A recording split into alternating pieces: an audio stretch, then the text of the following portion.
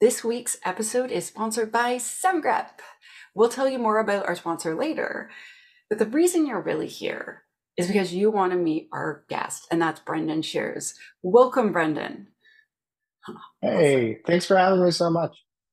My pleasure. Will you please tell the audience a little bit about yourself before I start asking you a thousand questions? Sure, no, happy to do so. So I'm Brendan Sheairs. Uh, I'm managing principal over at Synopsys uh, within the Software Integrity Group. Um, I'm responsible these days for our cloud security and emerging technologies uh, global consulting business. Uh, beforehand, um, and still now, um, I, I, I, was responsible for building out our security champions offering and, and the work we do with a lot of our clients on helping them build security champions programs, train developers and champions, and just help kind of with the better interaction between security teams and um, developers. So Brendan and I met on LinkedIn, right? That's where we met. And mm-hmm. basically, I was asking people, you know, about their security champions programs and all sorts of stuff. And he messaged me, and then we had a Zoom call. And I was really, really excited to learn. So I get really pumped up about things. The audience knows that. and uh, I'm very, very excited about security champions. And I feel like Brendan is the person who has equaled my enthusiasm. And I was like, oh my gosh, will you please be on my podcast? And he said yes. And so to start off, can you just tell us what the heck is a security champion? What are we talking about here? Yeah, no, happy to do so. I, I mean, I think for me, I mean, it's it, it, it's a lot of different things, but I think really the two ways that I kind of like to articulate or define what a champions is is is really um, one, it's it's just really helping bridge the gap between security and development teams, helping somebody, you know, building relationships between the two groups to really help drive each other's mission, right? Development has important things that they need to solve and objectives that further the business, protect the business quality, you know, improve quality, improve features and and you know revenue and all those things. And security has their mission as well, like managing risk. And I think it really helps having a a relationship between the two groups where you're you're working together on this this shared mission.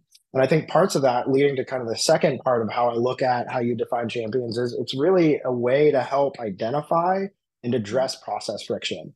You know, it, oftentimes security teams, you know, hard to get, you know, it's hard to scale. It's it's you know, there's not enough people on your team to help with all thousands and of applications and developers that you're responsible for. And frankly, you know, uh, you know, it's it's easy at times to kind of toss things over the wall, honestly. And and if your developers aren't getting a good experience with it, you know, they're going to push back or they're not going to do it and they're not going to tell you.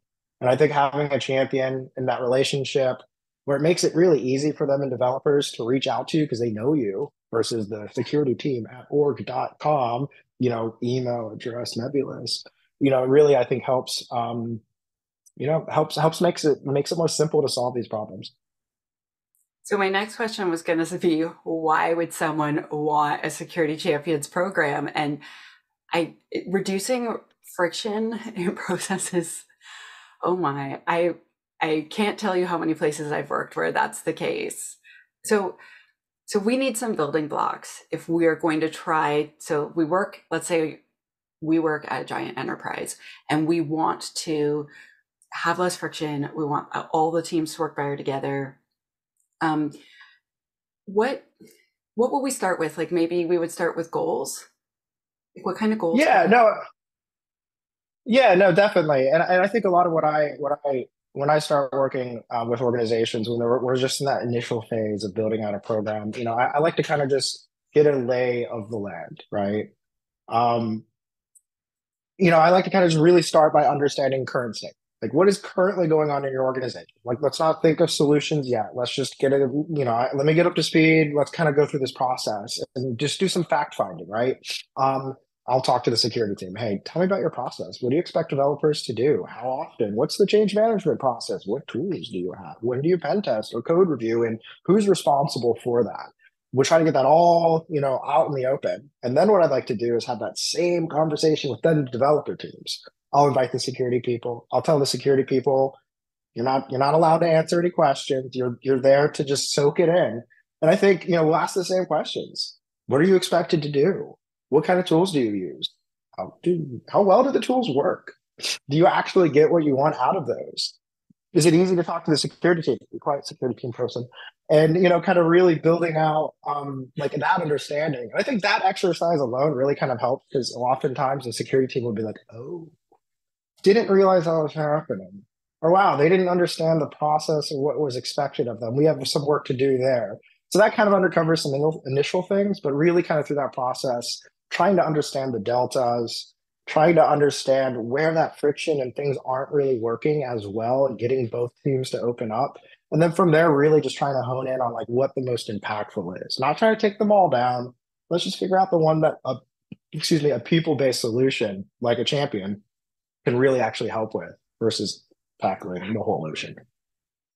So since you and I talked last, I went to Toronto to an IANS forum to give some talks and I met someone and he's like, yeah, I'm an AppSec person. And, but I was previously a diplomat. And he was explaining how the, and so I feel like you are the diplomat in that case, like perfectly, like kind of between the two sides. Not that they're warring, but you're trying to make sure they get along a lot uh-huh. better. And so, so who's going to run this program? like who who would be who would who would be in charge of the security champions program or building it? Yeah no I, I, just kind of want to touch on that last point though with the diplomat. I think you're absolutely spot on because i mean and obviously they're not warring but let's be honest here there's diff- there's sometimes different priorities for both groups. They're not always going to match. And when they don't match friction is going to occur whether you want it to or not whether you're I mean, every developer cares about quality. That absolutely is the case. But if they don't have the time to do it, they might not be able to get as deep as they want, right? So I definitely agree with you that I think there is a lot of actually diplomacy too. I think that's a good way to honestly to define it. Um, but yeah, now getting to the to your other point, who owns it, right? You know, I think a lot of what what I see is is I, I do believe it's a joint adventure, right, for both parties. There has to be that kind of shared responsibility.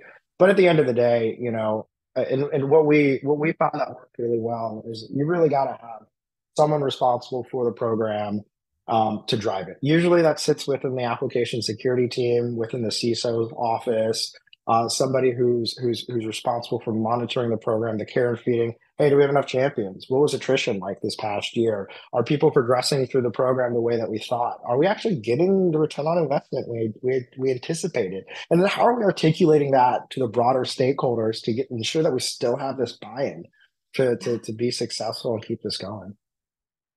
Okay, so that is actually the next thing I wanted to ask about. Like, so I, I've had some clients ask me recently, how do we get buy-in for this? Like, we need to write justification. What do we write about? Do you have any thoughts on that? Yeah, so I, I mean, kind of going back to that first thing I said when you build a program, right? You know, you're, you're trying to really understand the the right goal, and in part of that exercise, you want to go talk, go back to the development team and say, "This is what we came up with together with the security team. Do you agree? Do we all agree that this is a problem that is worth fixing? Yes, yes, yes. Great. Then let's go to our management and our leadership, the CISOs, the CIOs, the development VPs and managers, and let's go get buy-in there. Hey, this is what we heard. This is what's happening. This is what we're going to do to fix it. We need your support.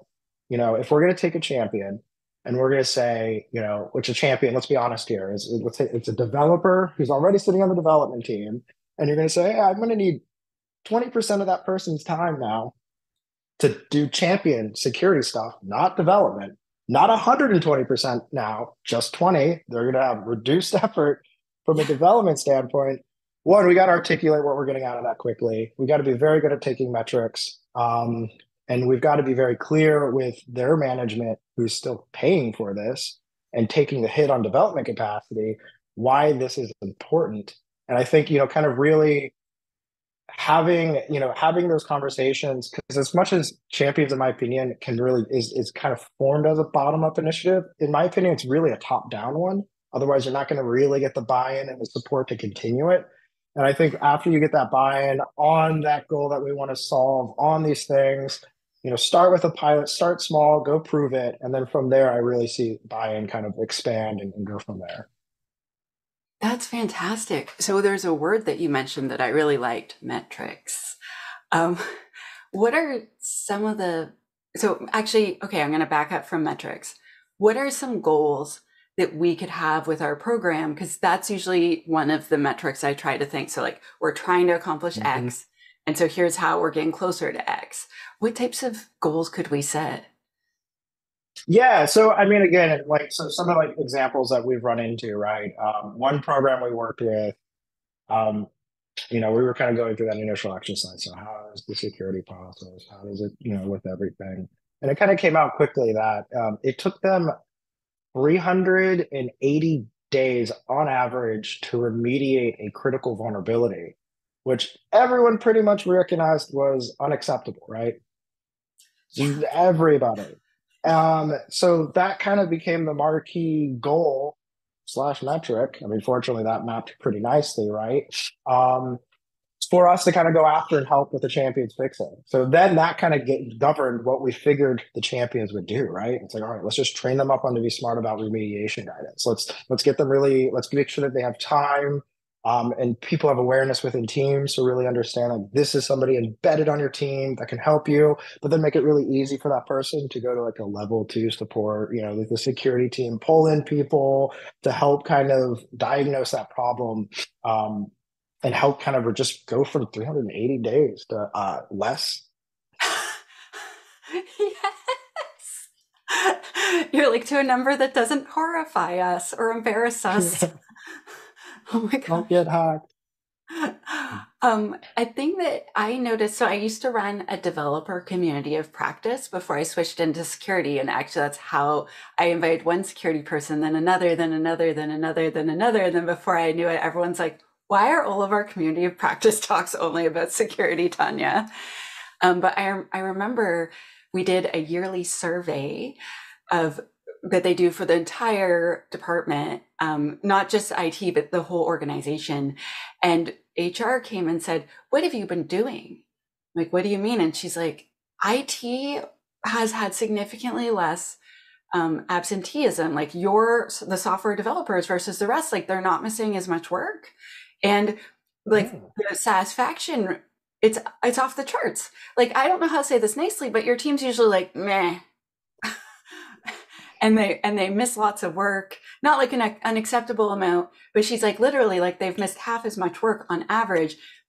And while people went from meh to okay to yeah i love working here. And she's like are like what are you doing? And i was like oh we just get together at lunch. Sometimes i bake cookies and we just learn about cool things like sharepoint and hacking and how to take a run at lunch, but not be the stinky guy in all the meetings in the afternoon. Um, and she's like, oh and so i suddenly i got legitimized. The program got legitimized. So many more things happened. And so i didn't even think of that as a goal. Just like your idea of reducing friction that makes people happier to work there. Yeah but i think the other point that you brought up eh, which is equally important here is you built a culture. You know and, and you built a culture not necessarily by you know we're going to have brown bags and we're going to all talk about security. No we're just going to eat cookies together and like each other more. Like it's just that easy, right? I enjoy showing up because Fridays I get to go out watch with my team, or you know, Brendan brings cookies, or we have a beer together after work every now and then. It's it's those types of things are are surprisingly important, and I think a lot of times are easy to to overlook. Have you seen champions programs result in people being happier at work? I mean, that's really interesting. I don't think I've ever we've ever really paid attention to that quality. It's definitely a really great idea that I need to need to think a little bit more about in the future. I mean, a lot of what um, you know I see and kind of it's not really the same. I recognize, but like you know, a lot of times when we do like champion programs, like we'll have like a boot camp, right? So like combining like a little bit of job training with like foundational skills, like okay, this is how to do OWASP top 10. This is why it's important. This is why you shouldn't let that thing hang for 380 days. And this is like what it actually means to be a champion, right? In our organization and not just generic. Mm-hmm. Um, and I kind of really paid close attention to um, the popularity of it. So it's like in, a, in six months to a year, do I have a wait list to get into that? Like I pay really close attention, and I mean that's not quite I think what you were you were saying, but I think it's a, something about like trying to find momentum and excitement. No, I I have a feeling that if you start measuring that, you would see a huge bump. Yeah. I I think you should add that to your metrics. So one other thing that so I have so many questions, Brendan. Um, so Brendan's run way more security champions programs than I have, and so he has been so generous with his time and letting me just pick his brain and ask him a thousand things. So thank you. What about hiring people to the security team from the security champions? Is that something that you've seen for recruiting? Oh, absolutely. I mean, like we don't do this often because obviously we're working with our clients to build um, their programs and train their people up. But you know, every now and then you get one, you get a few that apply that to us, and we'll hire them, of course, making sure everything's kind of you know with with all of our uh, you know agreements with clients, of course, you know, not breaking anything, and we always are pretty transparent. Um, but, you know, it's always kind of cool when you see like someone, you know, a developer who's very smart technically on engineering and building, and be able to kind of build, you know, grow this new skill and kind of you know, be able to take on new careers. I mean, it's definitely something that happens, right? Um, so I, I really like kind of seeing, you know, that. I mean, it's it's clearly one way to build your team and build that skills. Now, you know, one common question I I have gotten in the past regarding it is, well, okay, uh, we're going to train a lot of people. Like, how is that going to affect attrition, right? How is that going to affect, you know, am I training people to leave, or am I going to have to replace them? and and you know i think and a lot of like my my answer to that often is well one you always have to take the flip side of that right well what happens if i don't train them and they stay you know we got to protect against that but also we want to build the culture of training and, and elevating people and, and having them go on other things that's excitement we have to expect that some group are always going to leave right i think in the consulting world like 12% annual attrition is like the normal um, metric you can expect, right? Like that's the industry benchmark. So, you know, benchmark it yourself, right? You can understand within your own program is this normal attrition? Is this not? If it is, that's great. We should celebrate people going on to our team, taking on bigger security roles, maybe elsewhere, taking their taking what we've taught them in our style, our culture somewhere else. That's great. And we should also plan for bringing the next batch batch of champions in as well. Absolutely. So Okay, so we talked about what were some of the biggest challenges, and I think you mentioned that time commitment was a, could, be a challenge sometimes. Can you talk about that a bit? Yeah. Um, so oftentimes what we see is, you know, we'll go in and we'll determine based off of what the champion's going to be responsible for. You know, they're going to be 10%, 20%, 25% time commitment to the program.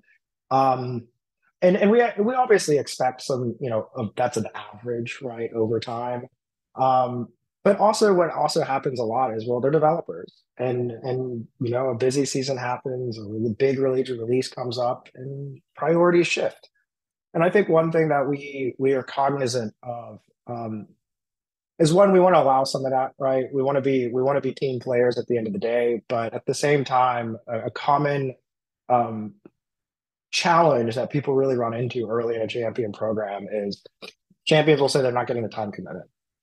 Um, and I think a lot of that is sorry, go ahead. No, no, no. Yes, like I'm agreeing a wholeheartedly. Yeah, and so I think a lot of with champions, it's you've got to one, you have to be getting the visibility into those challenges. Right? You got to be talking to them. You have to have the forums where they can bring that to you. You have to have that trust. And then from there, I think a lot of what I've seen is it's just a an ongoing conversation with, you know, with with um leadership. You have to go back to that top down structure, right?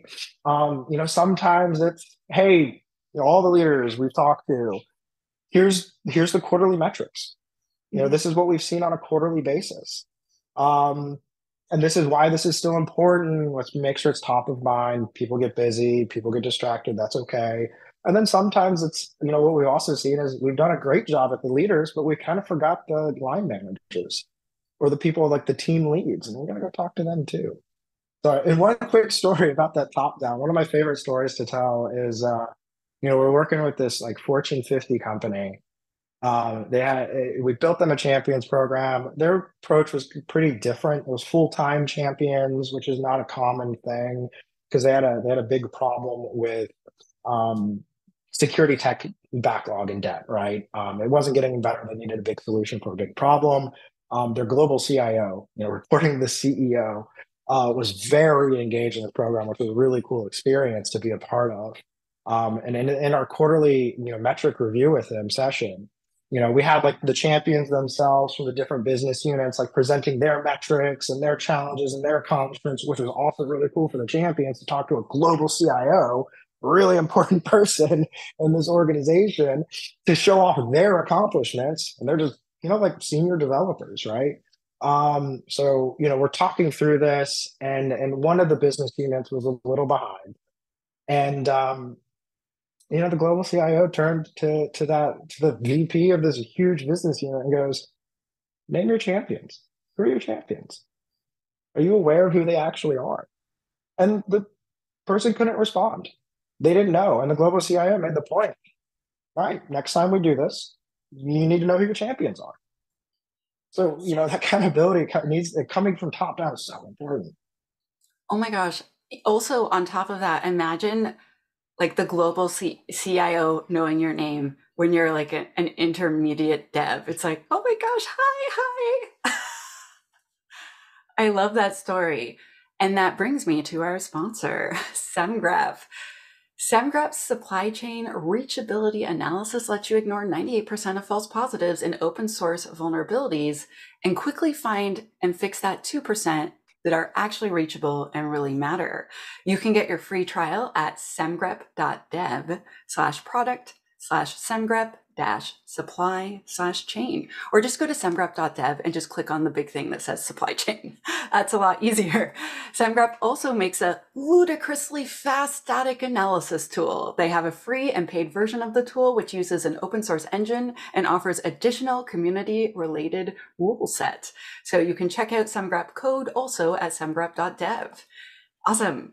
Thank you to them. Brendan i have okay so I really like that story, but I also wanted to hear a bit about. So you talked about, you know, uh, champions having like 10% or 20% of time dedicated to being security champions. What does that look like? Like in a weekly schedule, what does that mean? What, yeah. what do they do?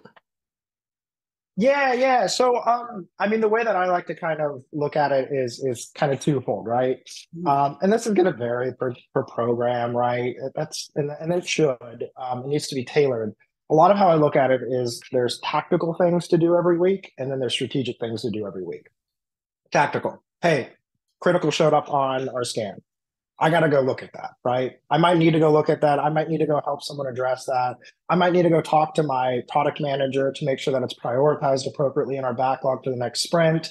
I got to do some investigating. Is it really a critical, right? Um, that's the tactical stuff. Um, the strategic stuff is more about like the long term goals. All right. So, one goal that's common is like we want to do security tool automation better, right?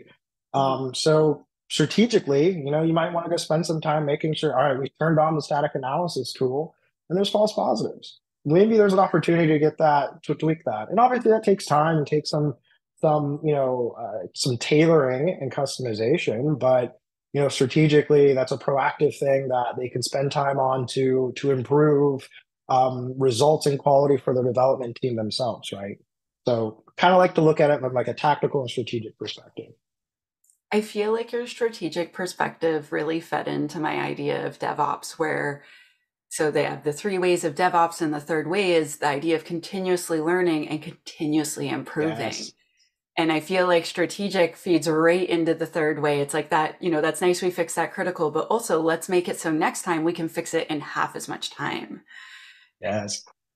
Oh, okay, so you and I also talked about motivations of why someone might want to be a champion. Like, what are some of the reasons they might want to do that? Yeah, so I sorry, one comment on the dev, DevOps okay. perspective. Like, mm-hmm. I think I see the DevOps handbook behind you. Yeah, it's somewhere over there for me as well. And, and there's a there's a, a, a, like a principle of it that I really like. Obviously, the continuous learning is so important, and I think that's a big part of, of a champions program. But the other thing that I really like, and I think really behooves us in the security industry to, to really focus as a North Star is, is the idea of daily work. You know, developers are always so, they're already good about keeping like bugs, fixes, and debugging as part of their daily work. I forget a semicolon, I get a compiler error, I go fix it right there. And I think security, we're getting there, we're getting better as an industry, but I still think there's opportunities for us to, um, you know, really get what we do and the solutions we provide um, as as easy as part of the daily work of a developer. And I, I think like you know a lot of this, I, you know, you know, I'm kind of honestly um, stealing a little bit from Google's like tricorder research their stuff is amazing. If you haven't read the the, the research papers, I definitely recommend it because I think they have a you know the first research paper is what 2015. I think the they had a follow up in 2018. Um, even though that you know it's 2023, I still think a lot of the principles that they've applied within their development process really, you know, I think we a lot of us can learn from in the industry. Yes. Oh my gosh, taking time to improve our daily work is so important and it's it's like an investment in your own job in the future. But I wanted to go back to motivations. Why would someone want to become a security champion? Because I am a, I am a giant nerd. Obviously, I know why I would want to. I just got very excited and curious, but there's more reasons than just Tanya being curious that people would want to be a champion. No, yeah, yeah, no, I get it. Uh, um, you know, it's easy for us to say we're we're obviously very excited about security, right? So um, you know, but I think I think a lot of it is, you know, I, I kind of go back to, to what I said earlier. Developers care about quality, right? And this is an aspect of quality that often isn't really taught as well as it could have been in you know in com- computer science programs and computer engineering programs. I know for me, you know, I have a CS background, but you know, we didn't have any security classes. I had to do an independent study where I literally had, you know, did a pen test of our department's you know, website. and like that was a great experience to kind of learn about it and actually like spend time getting better at it. I, you know, I think one, uh, it's a it's a way to kind of you know sharpen your, your, your tools and your skills on quality, all things quality, right? It's obviously an important thing that'll keep you out of the news. Um, but I also think it's you know it's a way to grow your skills. It's a way to kind of open um, open doors depending on where you want to go with your career. Having a very skilled security engineer or just a, really an engineer, not necessarily a security engineer, but an engineer engineer that has security skills will make you very valuable. Um, or you can even pivot into the security industry if that's what you want to do as well. So I think there's opportunities there. Um, but also more importantly, you're going to help your team be better, you know, have a better quality product, improve the life of your development team and and try to kind of um, help solve that problem too from a process perspective. I want to add on to that a thing that I think sometimes people don't they don't always think about it, but a lot of us have this drive inside of us to do good things with our lives. So I I don't mean um uh you know poor grammar like I did good. I mean like Superman performs good he like he his oh. character does good within the world and it, it, i don't know if this sounds cheesy but when i perform security work and i fix a big bug or I, I do a thing i think of myself as protecting people like protecting our customers protecting my coworkers protecting the public in general and being like i'm doing a good job. I just protected you from this. Do you feel like that might be a way that we could help motivate some of them to join? Like be a hero protect our org. Yeah i definitely think so. Um no, I definitely think that's a good way to kind of, you know, articulate the motivation. I do think that, you know, part of it also is, I, I don't know how to say this perfectly, so bear with me here. But I, I think that, you know, a lot of times, yeah, I feel like there's two ways to approach this, right? Because I, I, think there, there's a lot of very intelligent developers out there that, that have a lot of engineering skills um, and, and, and, are, and are very good at what they do um, but sometimes don't know the full impact of really that issue the security team keeps calling them about. And understand we can't be an expert in everything, but um, you know, I, I think you know there is an awareness aspect. I think too of champion programs. Mm. Um, I know I'm kind of diverting a little bit from the no, question, no, but do. bear with me here. You know, I think that you know, one thing that we see when we do initial programs is even if we say, all right, these are our goals, we're going to do more SAST, we're going to do more DAST, we're going to do more and more, whatever. And um, what we'll see though is after we get through the training, where we actually go, okay, this is really what cross-site scripting is. This is how can, this is how an attacker thinks. This is how they would might exploit it. This is how you protect against this, and the all the other OWASP top ten, etc. Mm-hmm. Um, you start seeing a change in mentality often, where all of a sudden issues start getting fixed faster and the tech debt kind of starts going down faster.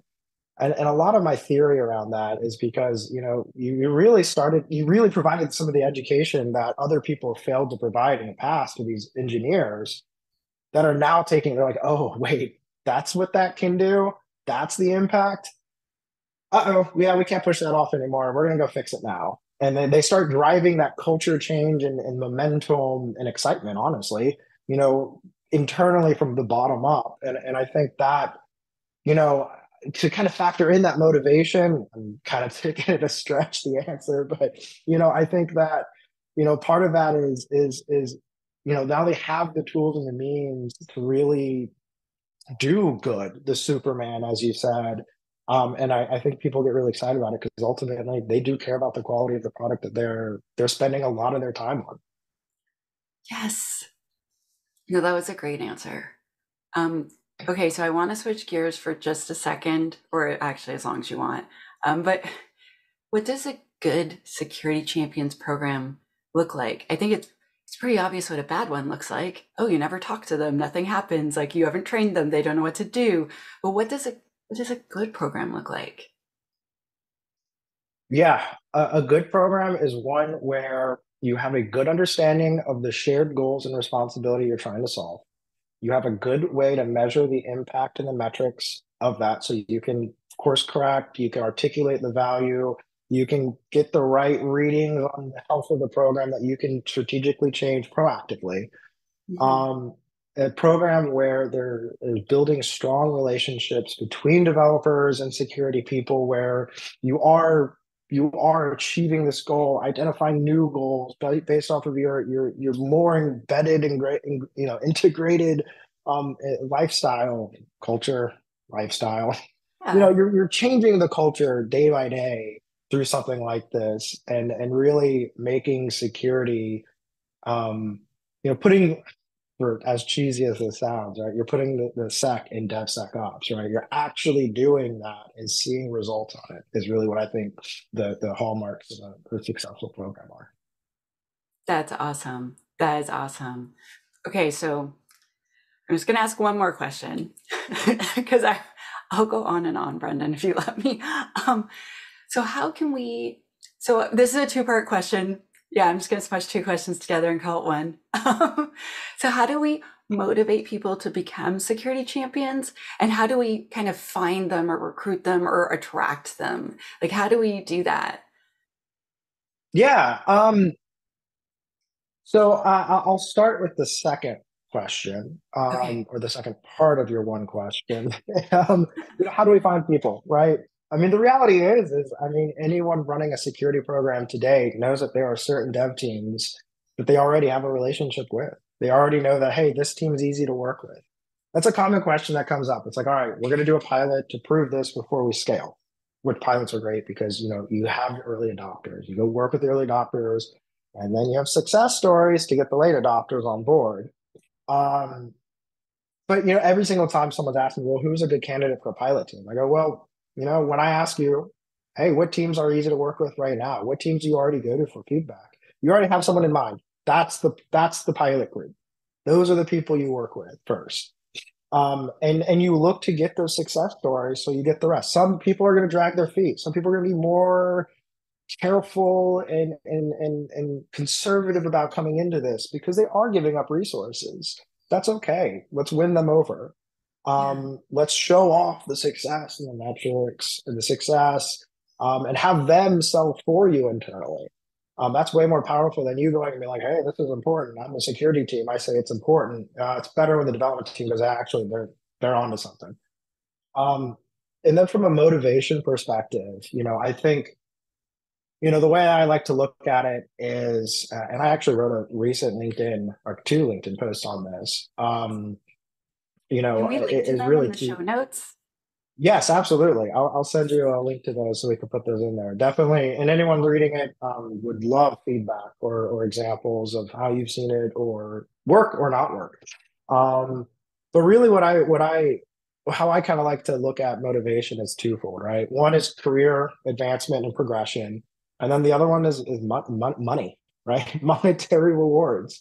You know, we we have bonuses for a reason, right? Um, we work to get a paycheck often, right? So you know, we don't want to ignore that either, right? And then, so what I really mean by those two things are career advancement are, you know, learning new skills, gaining experience in certain things, um, gaining opportunity to to advance what I do and get better at what I do, to put myself in a position for promotion, um, the next job I'm looking for. And champion programs can do that. Go get trained up on these certain things. Go start getting, um, you know, experience thinking from a security perspective those skills are easily translatable to either a more senior, you know, distinguished engineer perspective, a security engineer perspective, or someone on the security team. Um, and also kind of the awareness that kind of comes from that program where you know you might be a senior developer talking to a global CIO, right? That that that helps. Um, that looks really nice on your end of the year performance review, which then kind of you know segues into the second part about it. You know, how can we make this from a how can we reward people monetarily for the good work they do. You know, I, I find that it's really impactful to, you know, for your champions, you know, work with HR and managers to actually get success in the champion program to be a contributor to their end of year bonus or their their annual merit increase. You know, those types of things matter.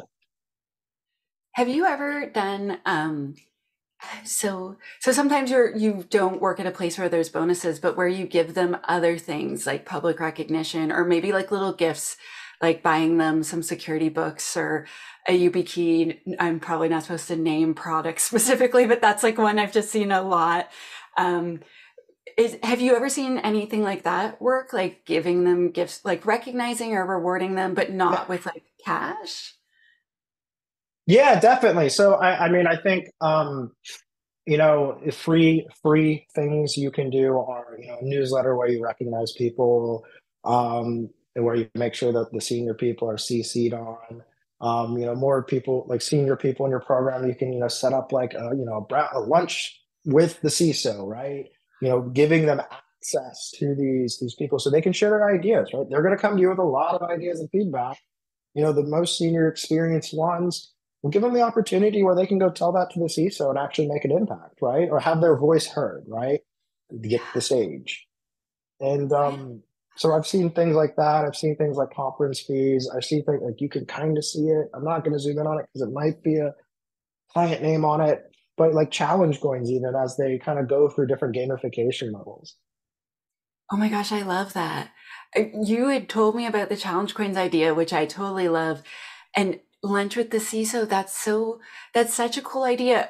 That's funny because like when I first joined my first security team, at one point the deputy security officer brought me for lunch and I was like, oh my gosh, oh my gosh, oh my gosh. and it really, yeah, it, it, it, it did the thing it was supposed to do where I was just like, oh, I love my new team. Like I was just so dazzled. And he told me all these cool stories about how he like jumped out of an airplane in like a war zone and like all this cool things that he'd done. And I was just like, oh my gosh, I get to work for this amazing human being. Oh, it's so smart, Brendan. Oh, okay. So I, uh, I, so folks, I would talk to Brendan for three weeks if he'd let me. Um, but we do have to come to the end of the show at some point. Brendan, if people want to read your work and people want to connect with you or be able to follow all the cool stuff you're doing, how can they do this? Yeah, so uh, the the two major places. Uh, one, Synopsys. You know, in our software integrity group, we have an application security blog. So I highly recommend people take a look at that. Um, my my cloud security container AIML team, they do a lot of uh, thought leadership on there. So definitely highly recommend looking at that. Same with champions um, as well. So there's some good content there. Um, I think you can find that at you know synopsys.com slash blogs slash software hyphen security. Um, and then also check out my LinkedIn. I, I try to post something weekly, um, and a lot of the past content has been security champion related. So those are two good places. And then finally, you know, please reach out on LinkedIn. You know, happy to have conversations one on one with what you're dealing with in your program. Happy to to share ideas, thoughts, and um, comments. So I can attest to his friendliness. He's so nice. and I he let me ask him a, a, ton of questions, and he manages lots of security champions programs still. So if you need someone to help you with that, he might be a person that does that. Um, we're totally not doing sales, but maybe a little bit. Um, so. Uh, oh my gosh, Brendan, this has been amazing. And I really want, so if you are listening or watching, uh, if you go to wehackpurple.com slash podcast, you'll be able to find Brendan and there'll be a picture and it's going to look just like him. And there's going to be show notes and I'm going to have a link to these blog posts that he put on LinkedIn. I'm going to have a link to the Synopsys blog and I'm going to have a link to his LinkedIn so that you can connect with him. Oh, Brendan, this has been so great. Thank you so much for being on the show. And thank you, Semgrep, for sponsoring. Brendan, it has been such a, an utter pleasure. Yeah. Thank you so much. Tanya, thank you very much for having me on as well. I, I really enjoyed uh, our conversations uh, during this and also leading up to it as well. So thanks. Awesome. Everyone from We Hack Purple, thank you so much for listening, and I'll see you next time.